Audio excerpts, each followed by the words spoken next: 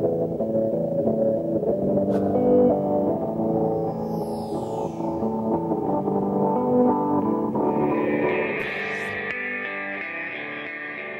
gonna call the BUHS number six meeting of January second to order at seven o'clock. Um, and we'll start with the clerk's report. And is there a motion to approve the minutes of December nineteenth? So moved. Second. Seconded by Sean. All right, any additions, deletions, corrections? Anything related to the minutes? Um, Well, Russ the told me minutes- one oh. thing. And the, the, there was a vote that was six, six zero two is what should have been with the, uh, Two two abstentions, abstentions. So, so that, so instead of reading six two, it should be six zero two. Six zero two, yeah. so I That was, will that was one that I change. saw, but I wasn't sure. Okay. Anything else? All right, all in favor of approving the minutes of December nineteenth as amended, signify by saying aye. Aye. Opposed or abstentions? Stay. Ian's abstaining, okay. Uh, is there any other communications for the board tonight? Well, Yes, I would like to say how nice it was to open this paper and see Crystal in a nice story about your future plans and everything. Thank So I you. thought, this is good, so congratulations very much. Thank you so much. It was it's a a great article, well done. Excellent. Any other communications that board members have? Okay, seeing none. There's no groups or visitors, so we'll move past that, and is there a motion to enter consent agenda? So move. Moved by Second. seconded by Russ, okay? And let's start with finance, building, and transportation. Okay, finance met on the twenty-second of December.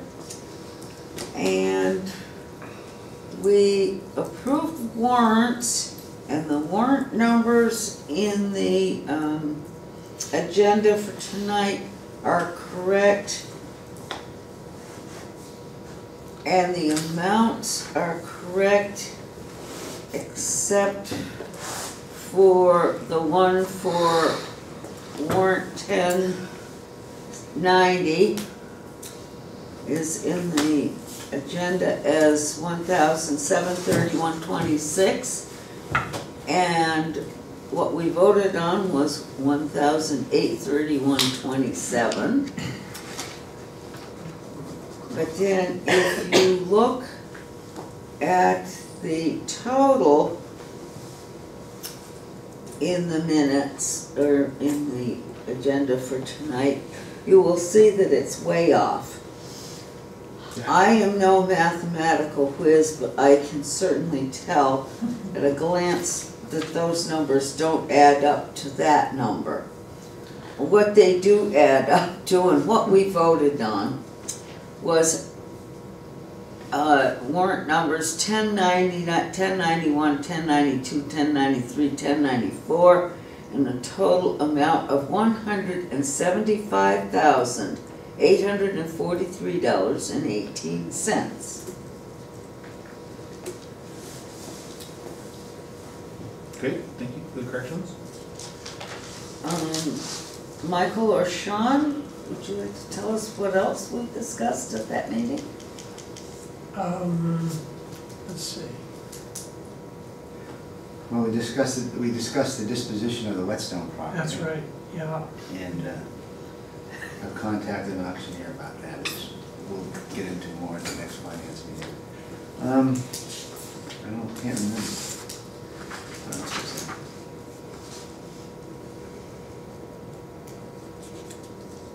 I don't know. We didn't go through the budget. No, You I know we did talk about the Whetstone. Did you get the Guilford agreement? Is that- Oh, yes, that is right. We did talk about the Guilford agreement. Thank you. In Were you detail- there? In detail, as a. No, I saw the email, so. Yeah, no, I appreciate that, yeah. So that was, um, yeah, it was uh, three hundred and seventy-five, I think, for the cap, and we did a one-year agreement. And I don't think that has to be, um, brought to this board. I think it was, uh, under the purview of the finance. committee. Yeah, it was under Perks Science. But you wanna just let people know what that, what that is? I don't have it right in front of me, I should have brought the paper, but I think it was three hundred and seventy-five. I think it was. Was the cap. There was some discussion about changing the cap, but after um, discussion, we decided that leave it as stated. Um, The cap for what? you said? Well, it'd be the cap with the agreement for Guilford. Right. For, what they did was they put a cap on the maximum amount that was gonna be due every year. Um, And this was the fifth year, I believe, and the cap um, is left as suggested. Um, Three seventy-five. Sean. You have that? here it is. I knew I should have it shoved somewhere. Yeah, I probably excellent, it. Yeah, it was three seventy-five, and then there were, so three hundred and seventy-five thousand for, um, next year is the cap. And then there'll be a renegotiation next year. There will be, and, and Frank sort of reiterated because everything is in a state of flux because of Act forty-six, possible reunification, that it would be better to do it on a yearly basis Until we get that figured out. until we get that figured out. So I think that there was gonna be discussion at Guilford, I, I don't, I'm not sure whether they're meeting tonight, maybe they are, maybe that's why Ron isn't here. Maybe. Um, Frank did mention that they were gonna be going over that, so that was our recommendation. And we voted on it, so, thank you. Thank you, Keith. Yeah, thanks, Keith. All right. Um, all right, so WSCSU finance, Did not meet, hasn't planning and policy, Has not met, teacher curriculum, has not met. BAMS committee, Has not, WRCC, Has not met. And WSCSU Act 46 Study Committee.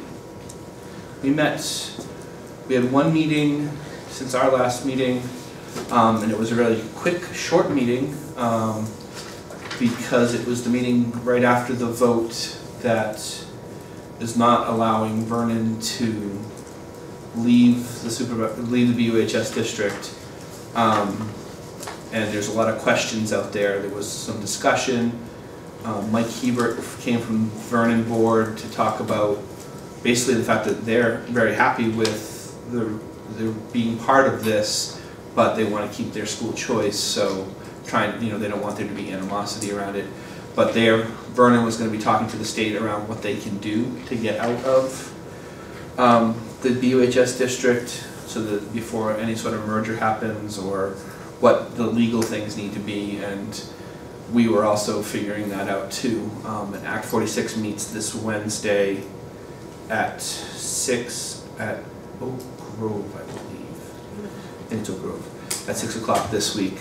Um, so hopefully we'll have answers to some of those questions about what to do. So the meeting went, ended really quickly because it was really, the, the work that we could do could all be for naught, depending on, do we need to add Vernon back in? Is Vernon staying out? What's the state gonna say? There was too much up in the air. So the decision was made to, um, end the meeting early. and So we're meeting again this week, and hopefully we'll have answers to those questions. Yeah? I did notice on that agenda, because I read the agenda for this meeting coming up, and it's, it looked to me like there was going to be some discussion about um, whether there's gonna be a revote in the town of Dummerston.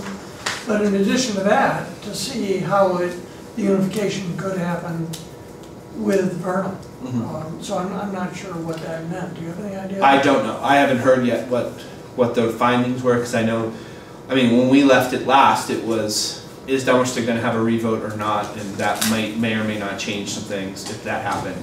Also, Vernon was late- waiting to hear from the Secretary of State's office about, or state, yeah, Secretary of State's office about what are their next possible steps, what can they do? And I know that, I believe the supervisory union was gonna be talking to the Department of Ed to figure out, okay, what do we do now with this Act forty-six merger process if this, we have this stumbling block, what do we do? So, I think that if they may have worked out something where there might be a way to move, keep moving forward in some sort of way without, or with, or, I don't know.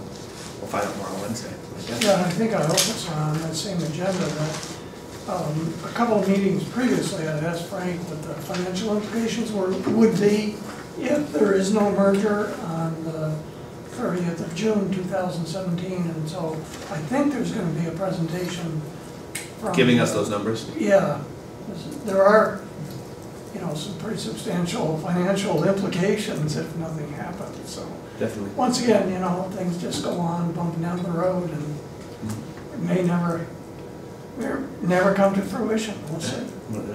Yeah. I'm gonna send Mike Hebert an email and tell him to like, kinda keep me in the loop a little bit. Okay, It's a little embarrassing, when I don't know what's going on. cool.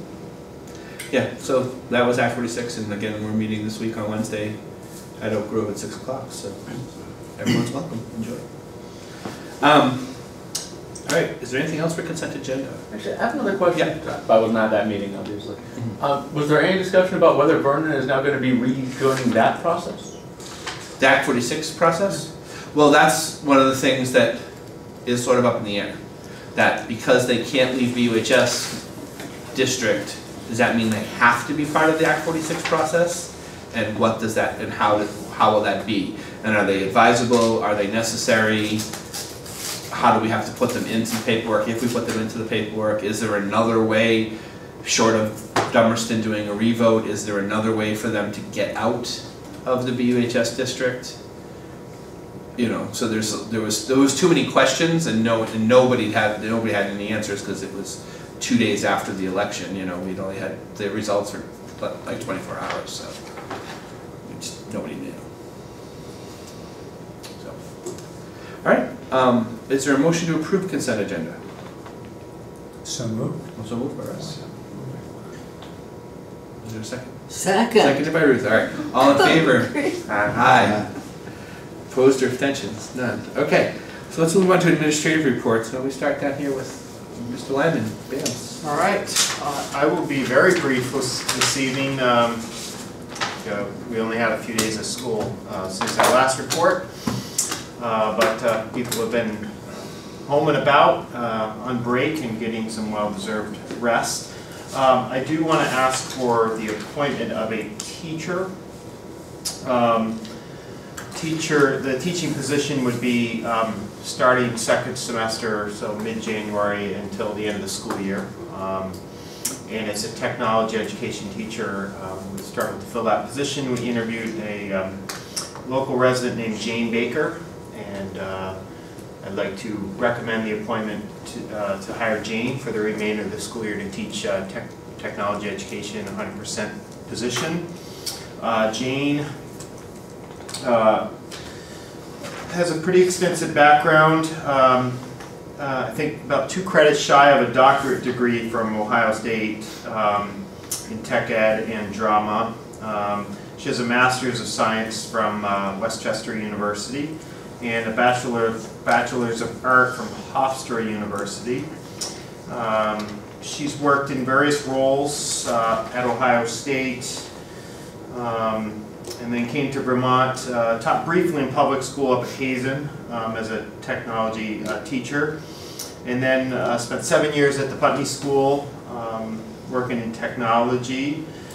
Uh, More recently, locally here, she's done a lot of work with the uh, New England Youth Theater and um, has her own film production, um, like her own kind of company um, called Yet Productions. So um, we had her um, teach a lesson, a sample lesson to us, uh, enjoyed her, and uh, um, she comes uh, well recommended, so I'd like to ask uh, that you appoint her uh, for the remainder of the school year.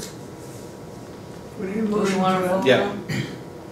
Um, I move that uh, we appoint Jane Baker as the tech ed teacher for the remainder of the year, hundred percent position, um, and look forward to having her in BAMS. Yeah? I'll second that. Seconded, okay. Any, any questions from board members or things? Is it, um, just there in the school year and then a renegotiation for the, for the fall, or? Yeah, I have to look at, um, that position had traditionally been split with um, the tech integration. Right. And Mary Linney has been kind of filling that role this year, so I have to kind of take a look at that. Okay. Um, And who, who's gonna do what. Um, There's certainly a need for um, the, the tech classes, Mhm. um, whether it's full-time or not is, is, The next we year. have to figure that out. So. Great. All right. Any, any other questions? All right. All those in favor? Aye. Opposed or abstentions? Hearing none. Okay, excellent. Okay. Is that it from BAMS? Yep. All right.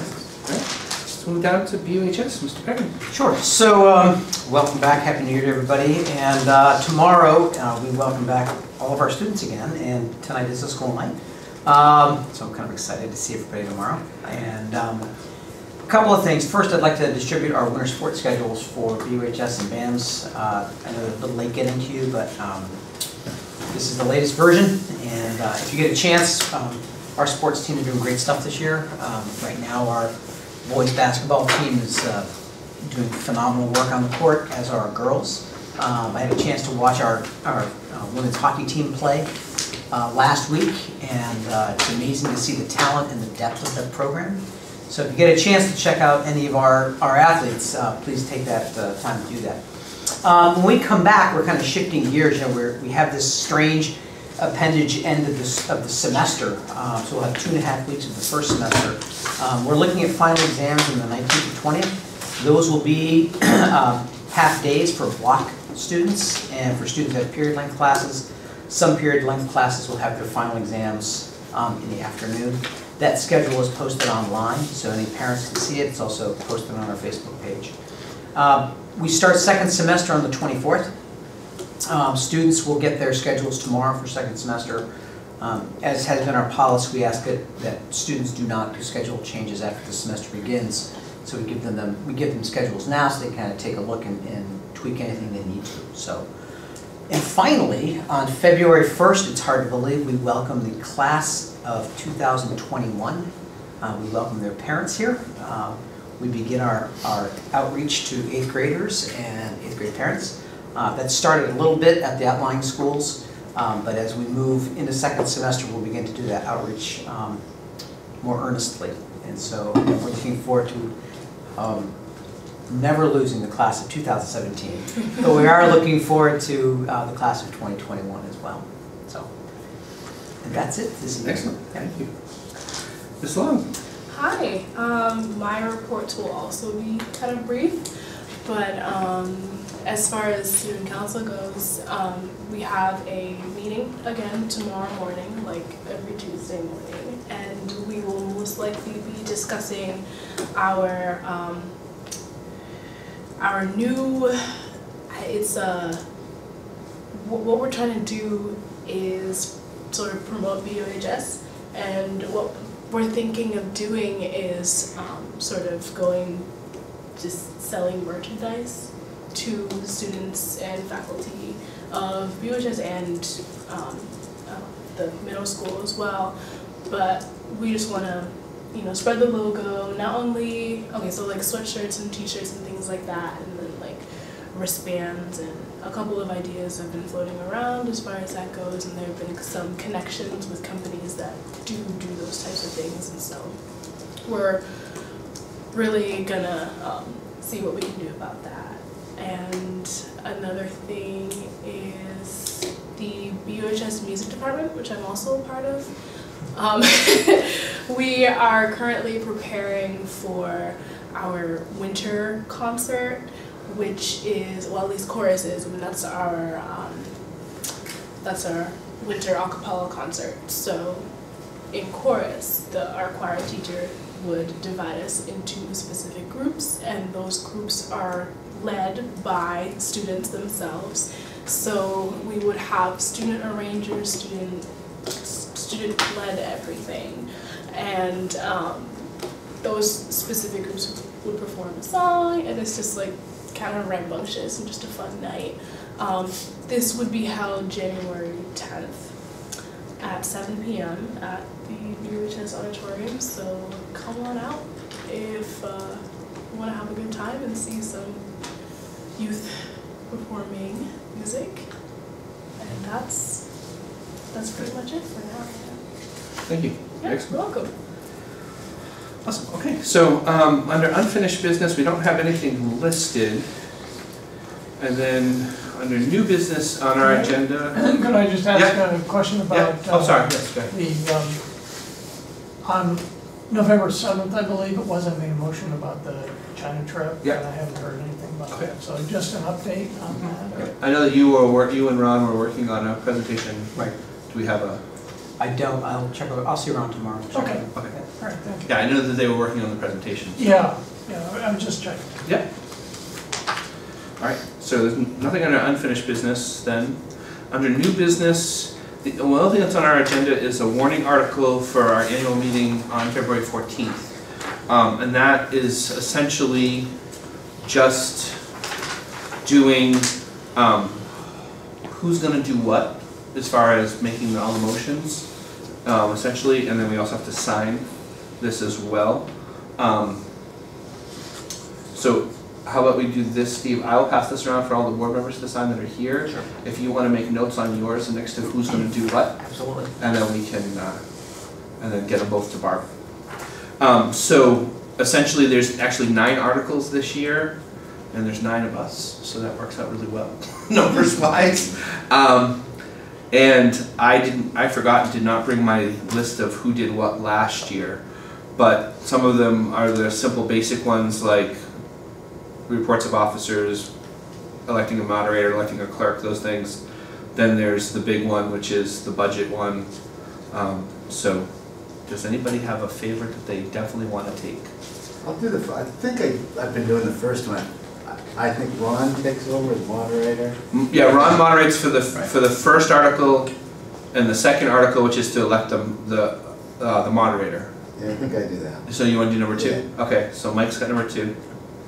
Russ, did I see you again? Um, uh, yeah, do we appoint the treasurer, we appoint Frank? Yes, Sure, yep, I'll treasurer, grab- I'll grab that one. Article four. So Russ has got four. So we have, uh, The reports of the officers, um, elect a ballot clerk, um, one auditor to serve for two years, one auditor to serve for three years, well, how much to pay the officers and directors, the budget, the budget one, and then to transact any business that legally comes before the meeting. I'll do the Number transaction. nine.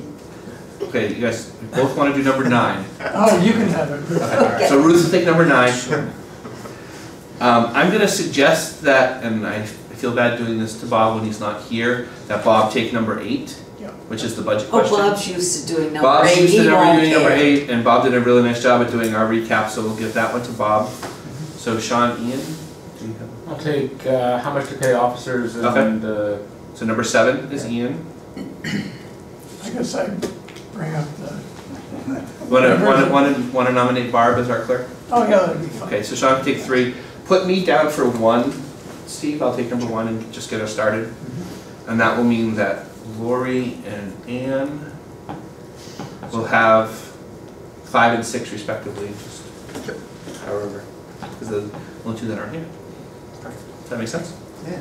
All right, and I'm gonna pass around the copy that I have, so that everyone that's here could just sign on a line for that, so I can go to central office. And then Bob, Lori, and Ann will just have to swing by and, and sign it at some point, so we have that- all the signatures in. That would be great.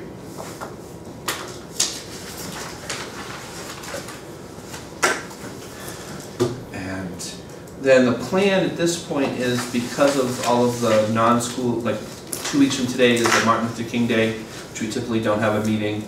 So unless the administration needs us for something, we won't have another January meeting. So, and we usually, in February, the only meeting we have is the, our annual meeting, which is February fourteenth. So we essentially won't meet again as a group until February fourteenth unless needed. Unless administration needs us for something like that, and then we'll schedule an off-cycle meeting at some point, preferably on a Monday evening, just so that we're in sync with, with a Monday evening. But it might be the fifth Sunday in January because something comes up or whatever. I mean, fifth Monday in January. So- You said the one on, on February sixth, we're not doing. Yeah, we, we usually don't, we usually only meet for the annual meeting in February, which will be the fourteenth, so, So the next actual board meeting we'll have will be March sixth. yes. So that'll be the next actual board meeting. So, I miss you guys. Um, Say like- I guess, so, is that it? Is there, everybody signed? What time is it on uh, the fourteenth? The fourteenth, is it seven? Seven o'clock is the start time, yeah, In the gym? in, the- in the gym. Jim. unless they've got moved, assuming they're in the gym. Be decorated appropriately. All right, is there anything else to come before the meeting tonight? Yeah, Ricky, good job. As it appears that there is no more business to come before this meeting, I move to adjourn. Second. Seconded by Ian, all right, all in favor? Aye. All right, thank you all very much, happy new year, thank you all for all your time.